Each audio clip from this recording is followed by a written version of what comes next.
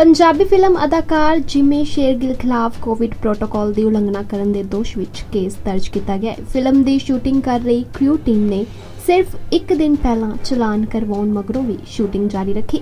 ਦੱਸਦੇ ਕਿ ਐਕਟਰ ਦੀ ਟੀਮ ਵੱਲੋਂ ਨਾਈਟ ਕਰਫਿਊ ਦੌਰਾਨ ਸ਼ੂਟਿੰਗ ਕੀਤੀ ਗਈ। ਹੁਣ ਪੁਲਿਸ ਨੇ ਸਰਕਾਰੀ ਹੁਕਮਾਂ ਦੀ ਉਲੰਘਣਾ ਕਰਨ ਕਰਕੇ ਐਕਟਰ ਜਿਮੀ ਸ਼ੇਰਗਿੱਲ ਸਣੇ ਹੋਰ ਕਈਆਂ ਖਿਲਾਫ ਮਹਾਮਾਰੀ ਐਕਟ ਤੇ ਹੋਰ ਧਾਰਾਵਾਂ ਦੇ ਤਹਿਤ ਕੇਸ ਦਰਜ ਕਰ ਲਿਆ ਹੈ। ਹਾਸਲ ਜਾਣਕਾਰੀ ਮੁਤਾਬਕ ਕਰੋਨਾ ਮਹਾਮਾਰੀ ਕਾਰਨ ਲਾਗੂ ਧਾਰਾ 188 ਦਾ ਉਲੰਘਣ ਕਰਨ ਦੇ ਦੋਸ਼ ਵਿੱਚ ਲੁਧਿਆਣਾ ਦੇ ਥਾਣਾ ਡਿਵੀਜ਼ਨ ਨੰਬਰ 1 ਦੀ ਪੁਲਿਸ ਨੇ ਫਿਲਮ ਅਦਾਕਾਰ ਜਿਮੀ ਸ਼ੇਰਗਿਲ, ਡਾਇਰੈਕਟਰ ਈਸ਼ਵਰ ਨਿਵਾਸ ਸਨੇ 35 ਵਿਅਕਤੀਆਂ ਖਿਲਾਫ ਕੇਸ ਦਰਜ ਕੀਤਾ ਹੈ।